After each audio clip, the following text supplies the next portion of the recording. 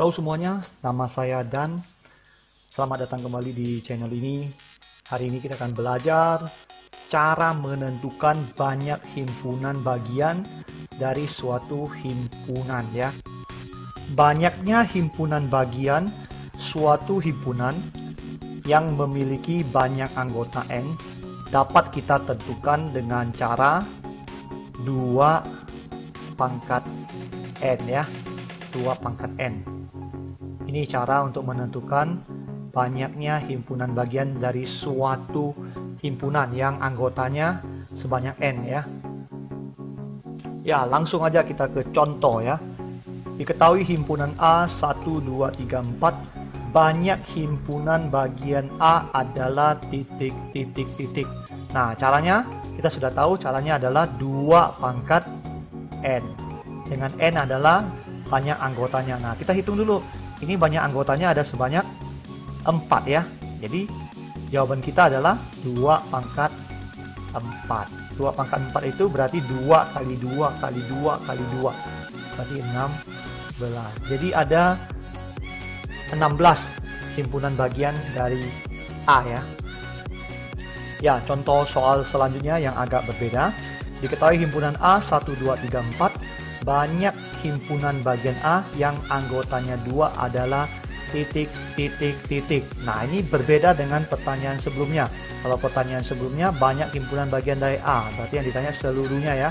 Berarti dua pangkat N ya, dua pangkat 4. Nah kalau yang ditanya hanya yang beranggotanya dua, hanya anggota dua adalah berapa? Nah cara pertama kita bisa kerja dengan cara manual, yaitu kita data anggotanya yang dua ya, yang beranggotakan dua. Nah, kita bisa dapat satu dengan satu dua ya. Bisa satu eh, tiga, bisa satu empat, bisa dua tiga, bisa dua empat, bisa tiga empat. Berarti jawabannya ada enam. Berarti jawabannya ada enam. Nah, ini cara pertama. Cara kedua, kita bisa kerjakan dengan membuat uh, diagram segitiga Pascal ya. Diagram segitiga Pascal seperti ini. Jadi segitiga Pascalnya seperti ini, satu, satu, satu, ini satu, dua, satu, ini satu, tiga, tiga, satu, satu, empat, enam, empat, satu. Nah, pertanyaannya yang anggotanya dua dan kita anggotanya ada 4 1 2 3 4 ini untuk tidak ada anggota.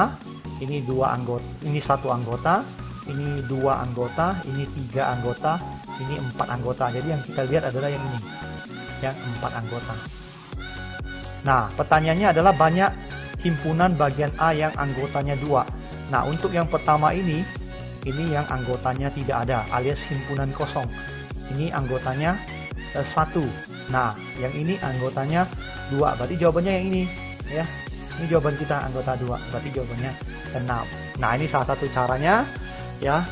Sampai di sini dulu materi tentang menentukan himpunan bagian. Semoga bermanfaat.